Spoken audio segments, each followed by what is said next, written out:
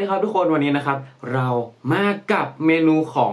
ไก่ป๊อปนะครับ แล้วก็เจลราดด้วยซอสหม่าล่านะครับ แล้วก็อีกอย่างนะครับก็จะเป็นไก่แซ่บนะดูสีนะครับ สีนี้จะอาจจะแดงกว่านะแต่ผมว่าฝั่งนี้ก็ไม่น่าจะแพ้กันนะครับ ดูดูๆไปก็น่าจะแซ่บทั้งสองอย่างเลย กดไลค์กดแชร์กด subscribe นะครับแล้วไปดูกันเลย